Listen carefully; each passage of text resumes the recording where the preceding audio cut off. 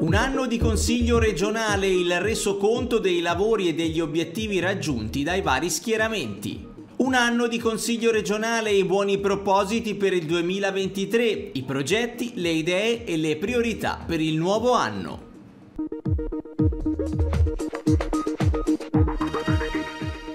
Nell'ultima puntata del 2022 di Consiglio in Forma sentiamo il commento del Presidente della Regione Toscana Eugenio Giani, del Presidente del Consiglio regionale Antonio Mazzeo e di alcuni dei capigruppo dei vari schieramenti che tracciano un bilancio di un anno di Consiglio regionale, il resoconto dei lavori e degli obiettivi raggiunti. E indubbiamente siamo alla fine di un anno che è stato un anno molto delicato, eh, per non dire pesante. Eh, pensate che iniziamo con la prima settimana dell'anno che il Covid ci portava 96.000 contagiati nell'arco di una settimana, il record assoluto in questi due anni di pandemia. Poi nel momento in cui sembrava fermarsi la morsa della pandemia, effettivamente eh, è stato poi così, eh, abbiamo avuto il 24 di febbraio la guerra e dopo dopo la guerra i riflessi sul piano economico, eh, dall'occupazione dell'Ucraina ecco il costo dell'energia, il costo delle materie prime. Abbiamo cercato di affrontare con razionalità e capacità di guardare con speranza al futuro. È stato un anno come per tante famiglie, tanti cittadini, un anno di luce e di ombre, è stato l'anno in cui pian piano stiamo provando a uscire da, dalla pandemia che ha segnato la vita di ciascuno di noi, ma è stato anche l'anno purtroppo in cui è scoppiata questa terribile guerra in Ucraina che ha segnato la vita di tante donne e di tanti uomini.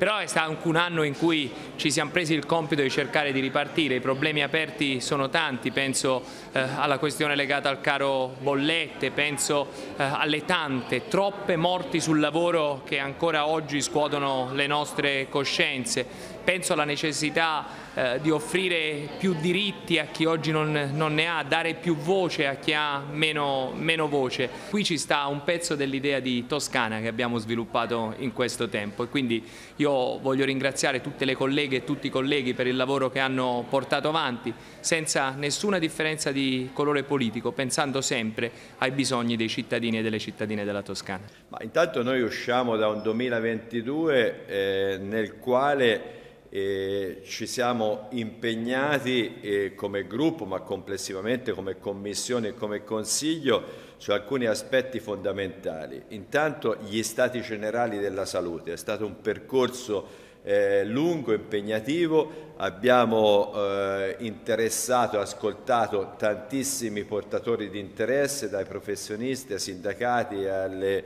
al volontariato, alle istituzioni locali. E poi abbiamo proposto e approvato una risoluzione che dà indicazioni precise per quanto riguarda quella che dovrà essere la sanità del futuro, una sanità eh, più ricca di servizi territoriali, in grado di dare risposte eh, anche ad una popolazione che vive di più e, e però eh, è eh, anche eh, colpita da eh, malattie eh, magari croniche, eh, interventi per eh, cercare di reperire anche quella che è una difficoltà oggi molto presente molti professionisti ehm, eh, di alcune specializzazioni mediche che, che, mancano. abbiamo approvato leggi importanti come quella che dicevo dei custodi della montagna, Abbiamo eh, poi avviato il percorso degli Stati Generali della Cultura, eh, un altro percorso per cercare di mettere a punto strategie e progetti di carattere culturale partendo dal basso e coinvolgendo tutti quelli che sono i portatori di interesse. Da questo punto di vista siamo rimasti eh, confortati anche da un eh, sondaggio che abbiamo commissionato che ci dice che i toscani vedono nella cultura un aspetto molto importante della loro vita, non soltanto per l'accrescimento delle conoscenze personali, ma proprio anche come elemento eh, di sviluppo eh, legato al turismo, legato insomma all'economia, legato all'occupazione soprattutto giovanile e più del 90% sono d'accordo con gli investimenti in cultura e ci chiedono addirittura anche di poterli eh, aumentare. Ma il Consiglio regionale a mio avviso ha lavorato bene, ha lavorato in maniera molto intensa, finalmente abbiamo avuto una riscoperta dell'attività politica, anche dialettica, questo non lo nascondo, rispetto alla nostra libertà di agire in Consiglio regionale come gruppo Italia Viva, grande soddisfazione come vicepresidente per aver portato a casa due risultati importanti a favore dei giovani, penso alle leggi che adesso andremo ad approvare sull'identità culturale toscana che dà una risposta ai ragazzi diciottenni rispetto alla possibilità di entrare in contatto con la Toscana e a esperienze di carattere culturali e soprattutto a quella di iniziativa che ha messo tanti giovani a lavorare insieme, a riscoprire elementi di relazione. Un Consiglio regionale che comunque deve lavorare ancora di più e meglio rispetto agli strumenti di programmazione, penso a quello che riguarda il piano regionale di sviluppo soprattutto e al piano dei rifiuti, due atti che nel 2023 non potranno mancare. Ci si può ricordare tante cose, la Regione Toscana è eh, intervenuta su eh, tanti ambiti, quello che le opposizioni hanno fatto anche in maniera costruttiva è quella di lavorare sulla tematica principale, quella della sanità, quindi andare a cercare quelle difficoltà che riguardano in sostanza due temi che i cittadini toscani vivono tutti i giorni. La prenotazione per una visita medica, quindi le liste d'attesa, quindi il non funzionamento del CUP quando magari ci viene detto che una eh, lista è chiusa e in realtà non è così, ma si rimanda poi magari la chiamata al mese dopo, mettendo in grave difficoltà i cittadini che magari per una visita cardiologica devono aspettare anche un anno e mezzo, per fare un esempio. Eh, ci si ricorda che a fronte di questo ehm, il grande sforzo dei nostri medici e infermieri però al contempo quando leggiamo le note eh, degli ordini dei medici e degli infermieri sui territori notiamo notevole difficoltà. Quindi questo è il tema principale che è quello sanitario, ma anche dal punto di vista dell'ambiente non siamo messi bene. Lo scandalo del CHEU è sicuramente un tema centrale di questo anno perché prima di tutto ci riporta alle infiltrazioni mafiose in Toscana che non è una regione felice da questo punto di vista ma che ha delle infiltrazioni, in questo caso dell'andrangheta, molto profonde anche sul nostro tessuto sociale e imprenditoriale. Quindi anche da questo punto di vista c'è molto da fare. E non si fa con la manifestazione di interessi mancando per fare il piano dei rifiuti. E quindi una procedura che in realtà si sta allungando rispetto a quello che c'era stato detto e questo chiaramente pone delle problematiche perché dobbiamo pagare molto i servizi e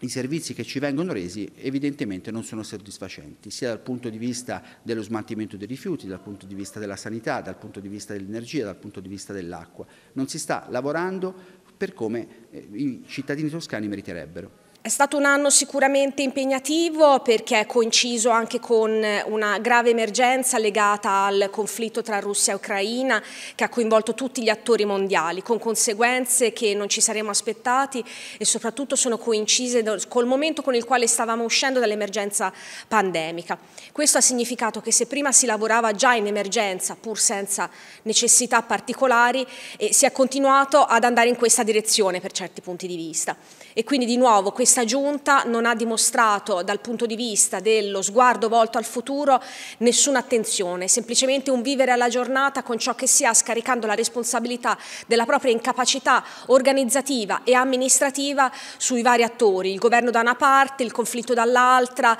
e le contingenze internazionali dall'altra ancora. In realtà quello che si registra veramente è un continuare a lavorare giorno per giorno su vari fronti, andando eh, più che altro in difesa e soprattutto commettendo errori strategici madornali, come quello per esempio della sanità territoriale ancora trascurata, errori come il non aver preso il mh, contributo per il SINSIR di massa dal Ministero per problematiche che ci sono state eh, di gestione e così via. È stato, anno, è stato un anno strano, è stato un anno in cui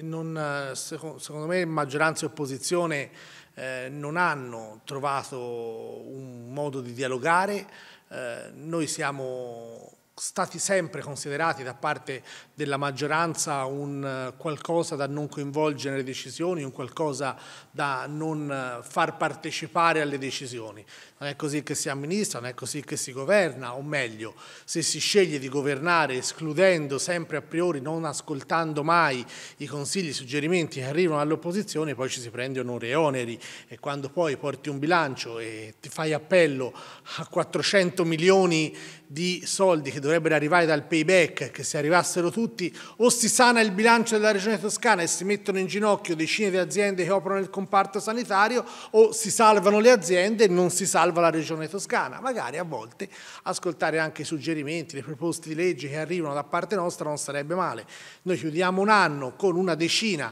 di proposte di legge presentate, Abbiamo la presunzione di credere che le proposte di legge che presenta Fratelli d'Italia non siano proposte di legge tutte stupide o inattuabili o inutili o pleonastiche, sono tutte bloccate in Commissione perché il Partito Democratico, quando Fratelli d'Italia presenta una proposta di legge, la lascia in commissione, non la porta in consiglio, perché sa che se la porta in consiglio o la vota e ammette che l'opposizione ha più idee della maggioranza, oppure la boccia, ma dovrebbe bocciare una legge scritta con un buon senso e allora preferisce lasciarla morire in commissione. Non è il modo in cui si gestisce una regione. Quindi un anno fatto di tanti contrasti, di, tante spigolature, speriamo che l'anno prossimo l'opposizione sia quantomeno ascoltata. Noi non pensiamo di avere le ricette a tutti i mali della Toscana, ma crediamo che se la maggioranza ci ascoltasse un po' di più, probabilmente qualche buona idea arriverebbe anche dai nostri banchi. Un anno di consiglio regionale con il 2023 che si avvicina, sentiamo adesso quelli che sono i buoni propositi, i progetti, le idee e le priorità per il nuovo anno.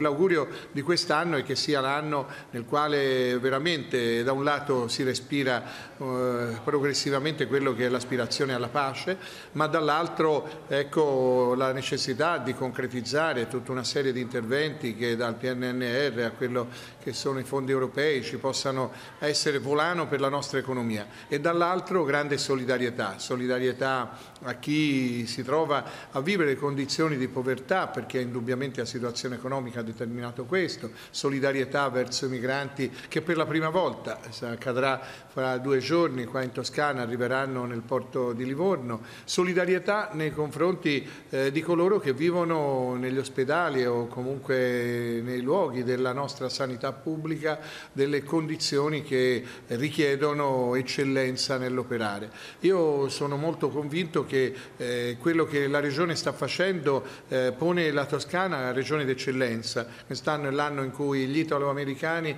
ci hanno designato regione dell'anno eh, come regione toscana e sono convinto che vi saranno tutte le condizioni perché la ripresa del turismo, delle nostre attività manifatturiere, della potenzialità che questa regione riesce a esprimere anche nell'essere toscana diffusa, ovvero non solo nelle grandi città, ma anche nei suoi paesi di montagna, nei suoi borghi, nelle aree di minore densità abitativa, possa dare quel senso di forza e di di compattezza che questa regione riesce a esprimere anche nel solidarizzare con chi soffre. Pensate alle donne iraniane che scendono in piazza e ai minori che vengono uccisi semplicemente perché nella piazza eh, in qualche modo testimoniano una diversità di opinione rispetto a quel regime. Eh, insomma, la Toscana dei diritti, la Toscana della solidarietà, la Toscana che cerca livelli sempre più alti di welfare state e la Toscana che guarda con speranza al 2023. 2023. Ma eh, le priorità devono essere eh, quelle che per noi sono un po' la bussola del lavoro già in questi anni,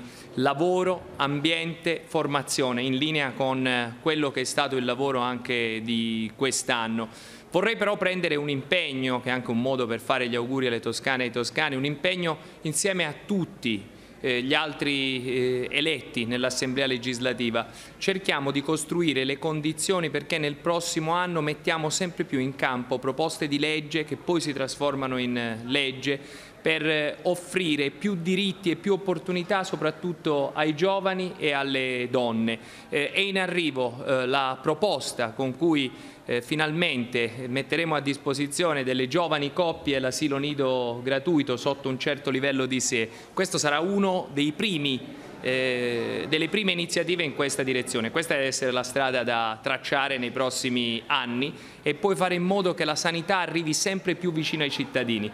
con un impegno che un bimbo che nasce nel paese più periferico della nostra regione abbia gli stessi diritti di un bimbo che nasce a Firenze. Il 2023 vede l'attuazione di che eh, abbiamo, eh, di, di quello, di, delle indicazioni che abbiamo approvato nel, de, de, a, a, seguito di eh, questi percorsi, ma soprattutto l'impegno principale sarà quello per l'approvazione del piano regionale di sviluppo vale a dire il piano che farà da cornice a tutte le politiche, a tutte le scelte, a tutte le strategie che il governo regionale dovrà portare avanti. Quindi eh, il piano regionale di sviluppo sta arrivando in Consiglio, noi abbiamo anche anticipato come gruppo alcuni incontri sui territori per iniziare a raccogliere anche da questo di, punto di vista delle indicazioni. Eh, ci sono importanti investimenti che dovranno proseguire o che potranno iniziare, la Darsa in Europa appunto, il raddoppio della ferrovia eh, Pistoia-Lucca, eh, eh, la viabilità eh, regionale. Eh, ho visto che stanno arrivando i, i, treni che fanno parte del contratto che da assessore avevamo, avevo anche eh, siglato con, con Trenitalia. quindi il futuro della Toscana anche nel 2023 vedrà il nostro impegno per quanto riguarda le politiche sociali, le politiche del lavoro, per quanto riguarda eh, la salute dei toscani e per quanto riguarda un sostegno al, all'economia, eh, quindi anche attraverso eh, tutta una serie di interventi e di bandi che verranno, eh, che verranno eh, pubblicati per quanto riguarda il sostegno alle nostre imprese. Per il 2023 un impegno importante a fare delle scelte importanti per la Toscana, penso sul piano regionale di sviluppo dove deve, che deve vedere i territori protagonisti e un piano dei rifiuti, soprattutto l'assunzione di responsabilità importanti, decisioni che mancano da troppi anni in Toscana. A margine di queste due grandi decisioni che ci vedranno impegnati a mio avviso nei prossimi tre mesi, dobbiamo definire come allocare le risorse comunitarie dei prossimi sette anni. Queste risorse comunitarie devono essere allocate a favore di quei territori che meno di altri hanno beneficiato delle risorse del PNRR. Questo elemento a nostro avviso è fondamentale e proviamo a farlo nei primi mesi dell'anno. Le priorità da affrontare per il 2023 nella Regione Toscana sono tantissime. Il tema centrale rimane quello sanitario. Dobbiamo superare le difficoltà dei cittadini toscani nella prenotazione delle visite sulle liste d'attesa, dobbiamo garantire anche un, eh, la possibilità all'interno dei centri privati di poter svolgere eh, le visite e convenzionate e quindi garantire un plafond per le visite convenzionate nei centri eh, privati sanitari, dobbiamo eh, lavorare affinché i nostri medici e infermieri possano essere gratificati di più e anche economicamente per quello che fanno. Tanti sono poi eh, gli aspetti eh, dal punto di vista ambientale, dobbiamo lavorare seriamente eh, sul, quelli, su quelli che sono i piani eh, regionali, dal punto di vista dell'energia, dell'acqua, eh, dei rifiuti, smetterla di fare gli stati generali eh, della salute, della cultura, eh, dello sport, dell'ambiente, ma dobbiamo iniziare a legiferare, lavorare e cambiare veramente questa regione anche dal punto di vista legislativo che è il nostro compito qui in Regione Toscana. Continuare con un'attenta attività di monitoraggio e eh, ispettiva ciò che fa la Giunta, continuare a dire ai cittadini tutto ciò che non va e fargli capire che sono attori partecipi della politica, che devono ancora più diventarlo. Il Movimento 5 Stelle si strutturerà sempre di più per, sui territori e lo farà in questo momento parlando di alcuni argomenti che stanno a cuore delle persone. Le comunità energetiche, uno strumento eccellente per superare l'attuale crisi amministrativa, e la questione della sanità, appunto, dobbiamo riportare la sanità vicino ai cittadini e la scuola, la cultura, l'istruzione, che deve finalmente ritornare a essere una parte centrale anche della nostra attività.